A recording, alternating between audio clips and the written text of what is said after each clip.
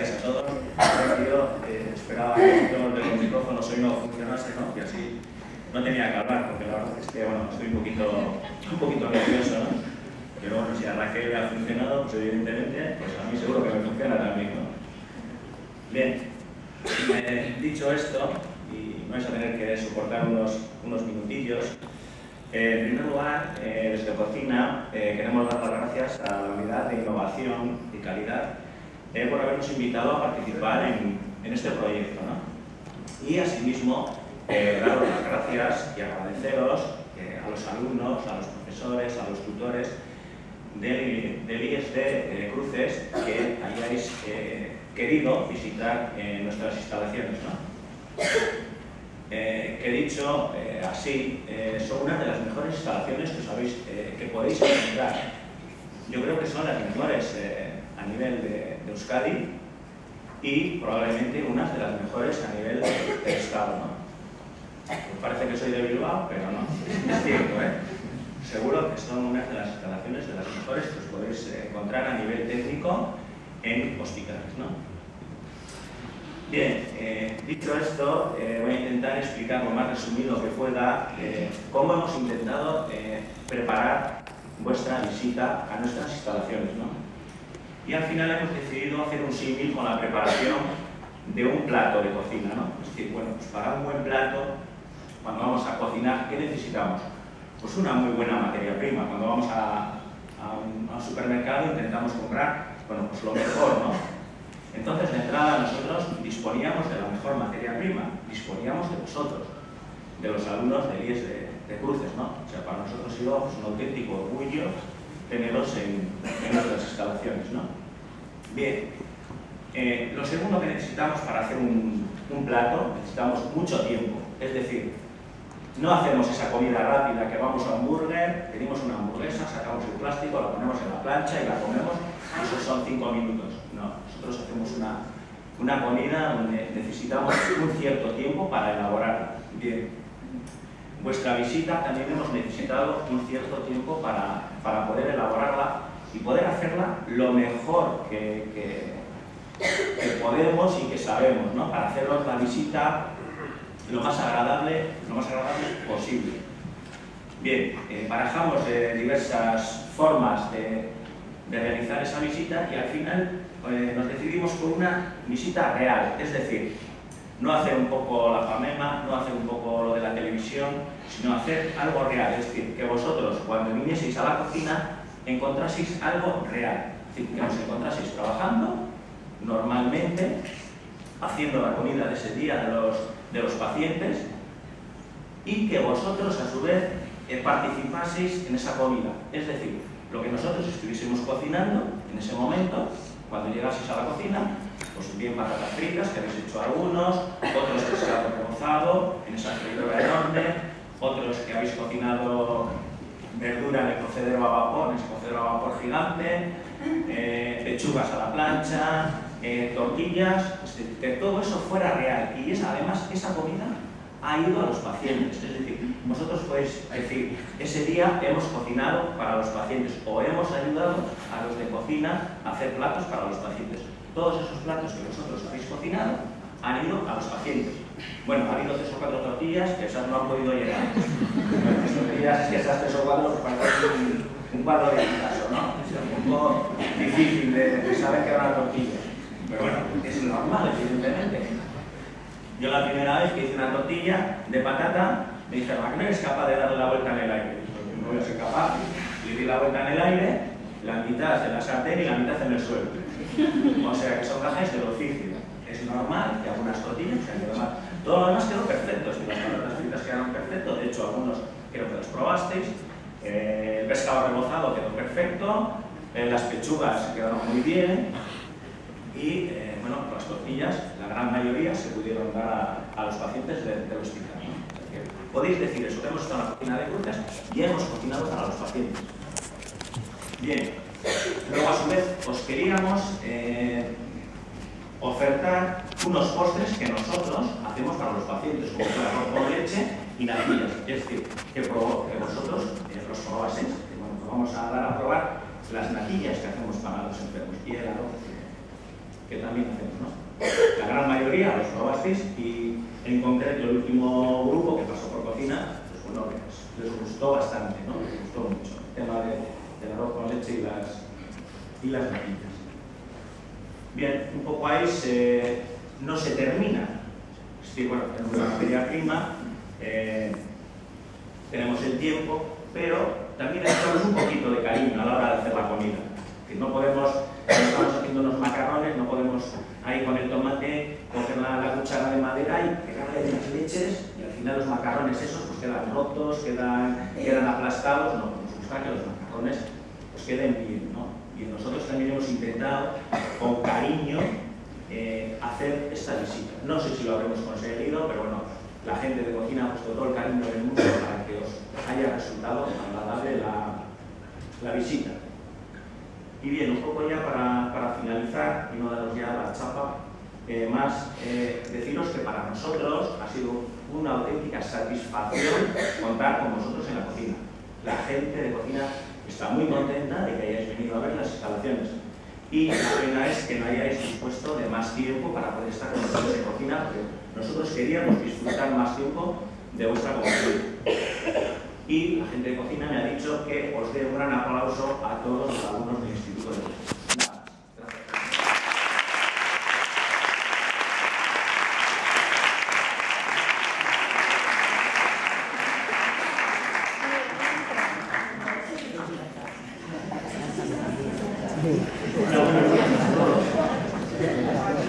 Creo que prácticamente todos pues ya me podéis recordar más o menos, aunque algunos de vosotros tuvisteis la suerte o no, de poder terminar pasando por el animalario y, y visitando las tres eh, estructuras.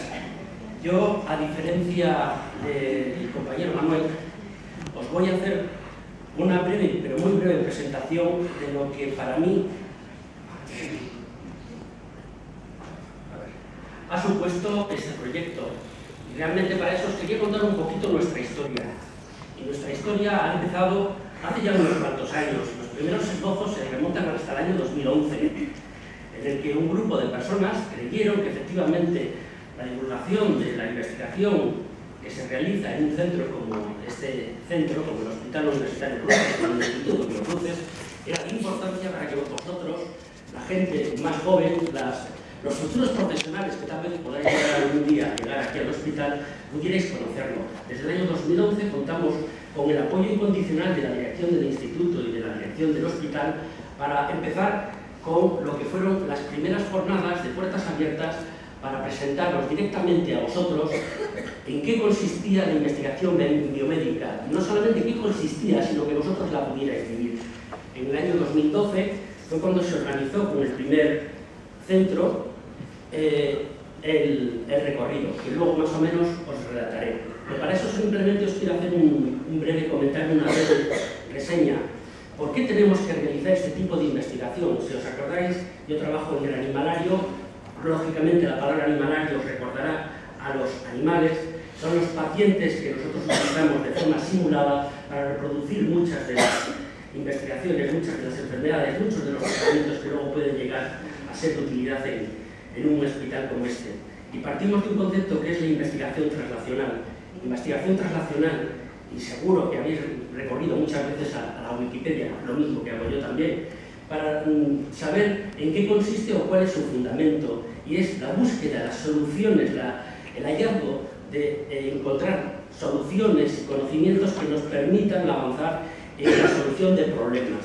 Mucho de esto realmente también tiene que ver con el tema de innovación, precisamente buscar nuevos enfoques y nuevas perspectivas para afrontar nuevos problemas.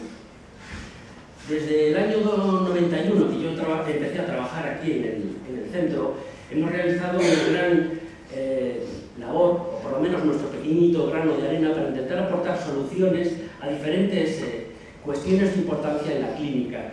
Y aquí os presento cuatro de ellas, pero solamente voy a pasar muy brevemente por dos de ellas. Una de ellas, que se llama oxigenación por membrana extracorpórea, o como ya sabéis, vosotros que tenéis el perfil trilingüe, eh, extracorpórea membrane oxygenation, que significa oxigenación por membrana extracorpórea. Es una técnica muy complicada y como podéis ver en la fotografía, 20 años atrás, un pachi bastante más joven, bastante menos gordo y con unas instalaciones un poquito más deficientes, pero pudimos poner a disposición de un equipo clínico de este, de este centro unas instalaciones para poder ensayar una técnica muy complicada para realizar directamente en humanos, aunque no se distingue tampoco bien en la fotografía, aparte de Pachi y mis compañeros de, la unidad experimental y de la unidad de cuidados intensivos, de, de, de la neonatal, eh, estaba presente nuestro paciente, un pequeño paciente de 3 kilos, un cordero, que se ofreció voluntariamente a que pudiéramos ensayar esta terapia. El resultado fue que a lo largo del año 2000 se puso en práctica esta terapia con el resultado que brevemente os comento. De los ocho pacientes, en que su estado era estrictamente crítico, creo que su probabilidad de supervivencia era menor del 25%, llegaron a sobrevivir el 75% de los pacientes. Considero que desde mi punto de vista logramos ese pequeño punto a la hora de poder aportar algo a este centro de cara a la sociedad para tener más terapias y más intervenciones que lleguen a ser útiles.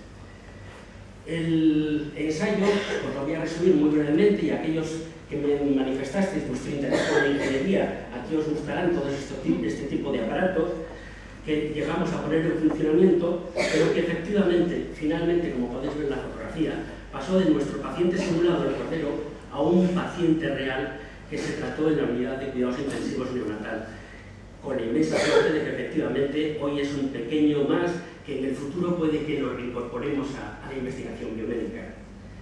Otro de los proyectos que más o menos estamos llevando ahora que os presentaba también un poco en esa diapositiva así rápidamente, era eh, la utilización o la, la, investigación aplicada en unos catéteres. Os acordaréis que en la presentación del animalario os comentaba cómo introducíamos unos catéteres en los pacientes para poder empezar a, a administrar la terapia. Pues por desgracia se pueden producir accidentes y eso puede llegar a desembocar en un problema terapéutico bastante importante que es la infección eh, bacteriana. Estamos trabajando y el animalario participa en este proyecto de investigación en el que desde el concepto de la investigación translacional, desde el laboratorio, desde las pruebas en tubos de ensayo, pasando por pequeñas unidades para poder probar individualmente los, los, los catéteres, pasando por una fase de experimentación en vivo para probar que efectivamente esta investigación es útil, y luego unos sistemas de certificación, estamos intentando que efectivamente en medicina podamos disponer de unos dispositivos que sean útiles para la inmensa mayoría de los pacientes que terminen pasando por este, por este centro. Como os he querido refrendar, habéis visto que más o menos todos los profesionales sanitarios se han especializado en ciencias de la salud, pero si habéis visto, parece que al final en nuestro conocimiento y nuestro avance ha terminado derivando un poco de nuevo otra vez hacia nuestros orígenes. En concreto, este es uno de los modelos experimentales, me refiero a perro, lógicamente, que aunque vosotros no pudisteis llegar a ver sencillamente porque tenemos que cumplir unas normativas muy estrictas, y es el respeto y eh, la concienciación por la utilización correcta de los animales que, están, que tienen los mismos derechos, unos derechos bastante equiparables a los del ser humano, tenemos que cumplir esas eh, especificaciones y solamente bajo la dirección y el visto bueno de un comité que avala esa investigación se puede llegar a realizar en el centro. Solamente os quería enseñar en esta pequeña diapositiva y pasando rápidamente de la ley, que la tenemos que cumplir todos, un concepto ético que intentamos, aunque no sé si llegamos a transmitiros esa sensación o esa impresión, el concepto que en los años 50 Butch y Fleming definieron el concepto de las tres R's, el de la producción, el refinamiento y el reemplazo de la utilización de animales para la investigación no solamente biomédica, sino de muchos otros aspectos. Y además una cuarta R, que es mi que quería introduciros, que es parte de lo que nosotros hemos intentado enseñaros, el de la responsabilidad. El de la responsabilidad es que aquello que estamos realizando, la sociedad en general, vosotros en particular, podáis ver que efectivamente tiene utilidad. Como os comentaba al principio de, esta pequeña disertación, eh, los orígenes que se remontan al año 2011 se plasmaron en el 2012 con las primeras visitas, siempre con el visto bueno de la dirección del centro y del Instituto Biocruces, y por este instituto, eh, por el Instituto de Investigación Biocruces, han pasado desde el Instituto eh, Ibarrecolanda, de tercero de la ESO, de segundo debut. Al año siguiente, en el 2013, los compañeros del Instituto de Recanteberri, de luego también segundo debut, o, perdona, eh, tercero de la ESO y segundo debut. Eh, durante el año 2014, por diferentes razones, tuvimos que parar un poco este pequeño embrión de lo que eran las jornadas de puertas abiertas y tuvimos la inmensa suerte de que gracias a la incorporación y a la creación de la unidad de innovación se cuajara de una forma bastante sólida lo que iba a ser el proyecto que se ha terminado lanzando, en el que en, concreto vosotros estáis eh, reflejados. Muy brevemente, para recordaros sencillamente que la utilización de los animales tiene que cumplir unos mínimos, os presento aquí una pirámide de otra de las partes que en el animalario nosotros nos dedicamos, que es la parte de docencia, y en el que podéis ver aquí en la base toda una serie de aparatitos y de ejemplos, y todo eso tiene que ver, efectivamente, como vosotros, algunos de vosotros os acordaréis, a que finalmente vosotros dispusisteis de 5 o 10 minutos para poder practicar lo mismo que los profesionales de este centro a la hora de poder entrenarse en aquellas técnicas